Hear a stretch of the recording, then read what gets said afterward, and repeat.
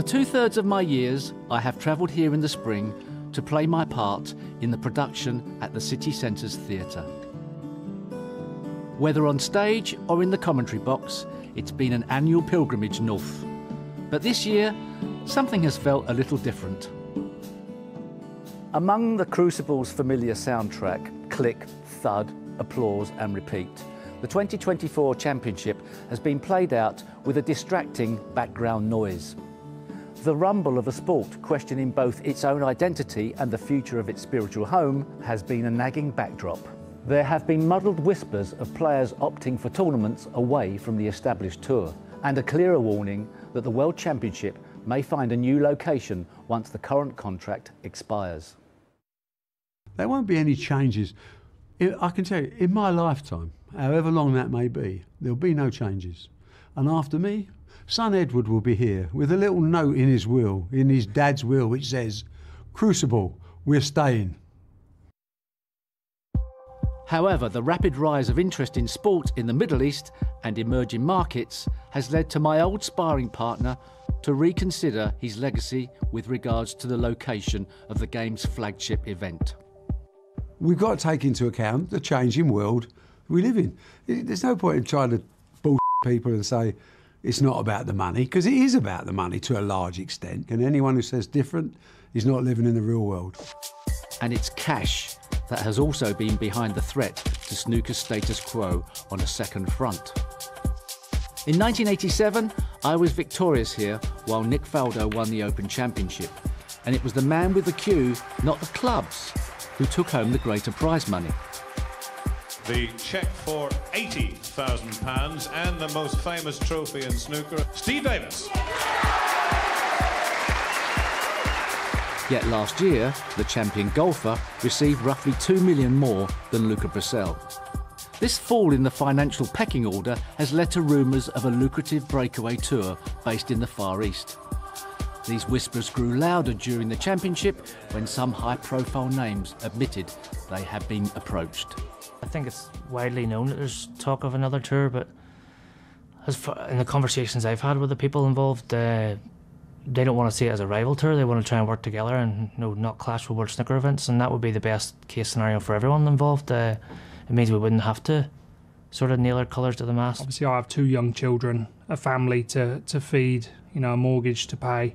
You know, these are all things that, that play a massive part in day to day life. So, yeah, obviously, I, I'll sort of weigh up all of my options. People like looking at a different tour and things like that. It's business at the end of the day. Uh, history don't pay the bills. The twin threat of players looking to expand their options and the move for the World Championship are linked. It's implausible that a tour based in the Far East would hold a tournament here in Yorkshire. You know, snooker's at a big crossroads now. It has a choice. Does it take the money or does it stick with history and stay here? When the current contract expires, it will be half a century since the World Championship moved to the Crucible.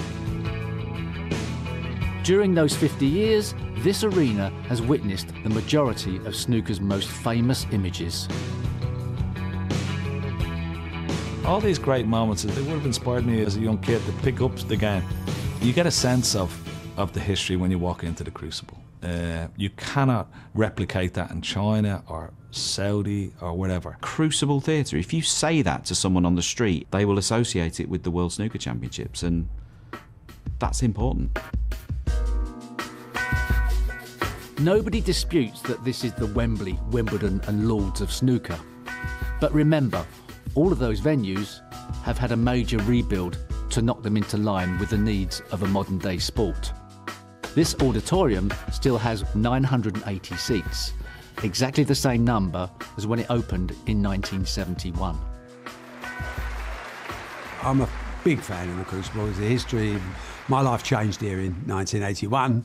I wouldn't be talking to you without the Crucible. So I obviously owe it big time. But we need to have a bigger venue for the fans, for the players than we've got now. And we've been saying this for a number of years, and we're looking to Sheffield City Council to do it.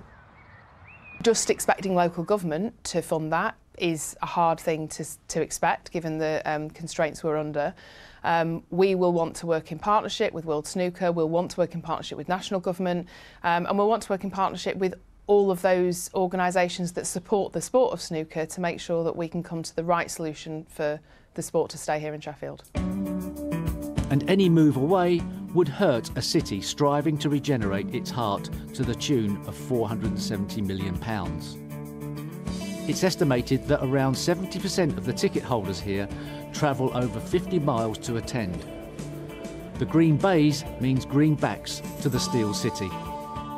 World Snooker brings millions of pounds of benefit to the city, but it goes way beyond that. It brings uh, energy, it's part of our heritage, it brings huge numbers of visitors to the city, and it puts Sheffield on the world stage right where we should be. If we boil it all down, there's three options. Either we stay at the Crucible, the second option is to try and find an alternative venue in the city of Sheffield. The third option, I think, would be to listen to offers from around the world. What actual offers do they have on the table from other countries and other states and other organisations to take the tournament away from? I'm not aware of any.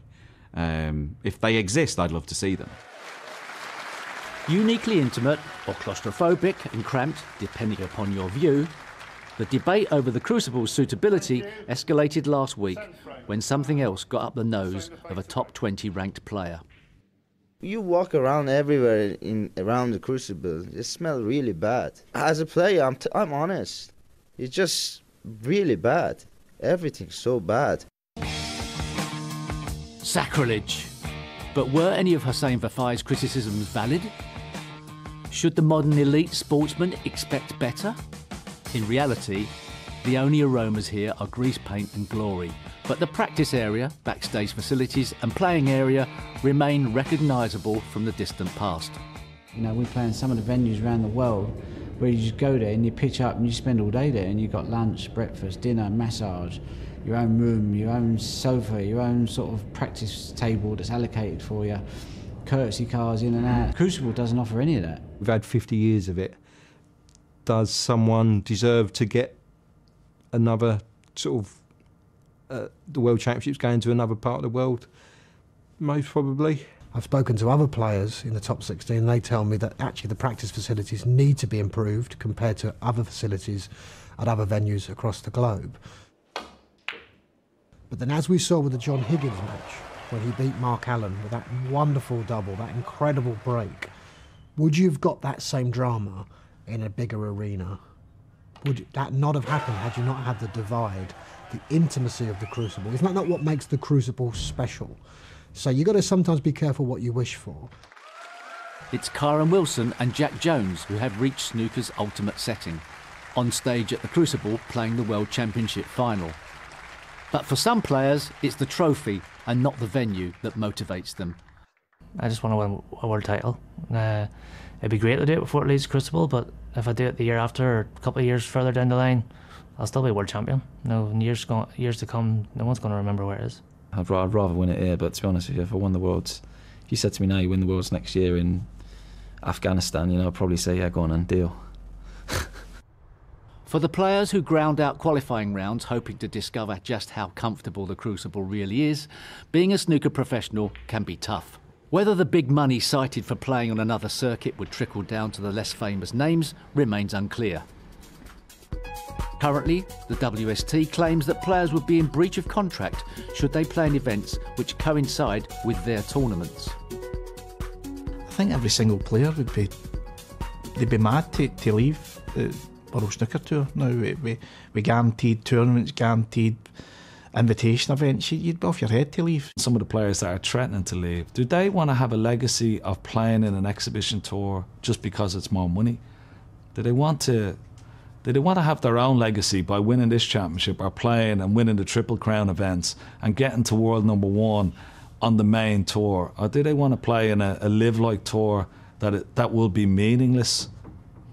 Uh, for me, I think I know what tour I'd like to play on. money for me at, at this moment in time is not the priority. I, I need to hopefully put some question marks to bed and stuff like that. I, I feel like I need a purpose to play. The WST has worked hard to increase prize money significantly. From next season, the total will be around £20 million, and demand is growing. Despite the game's current diversions, the overall situation is encouraging. It does great numbers on TV. It does great traffic on our website. So I think there's a real appetite for snooker. We just need the personalities on the baize to express themselves. And as we saw a few punches of the table, as long as the table fitters don't mind, we want a bit of that to come out, don't we? That bit of passion, that bit of fire. We can only lose our history if we choose to.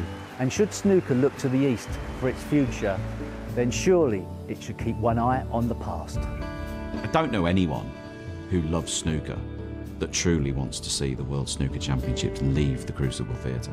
For me, it's probably the best venue we play when it's a when it's a one table setup, and I've been fortunate to be there quite a few times. So for me, I'd like to see it stay. Pragmatists may say that snooker needs to grab its opportunity to develop and be meaningful in the modern sporting world. If I don't take the money, the players themselves will be annoyed with me because it could change their life as well with the extra prize money that, that it will generate.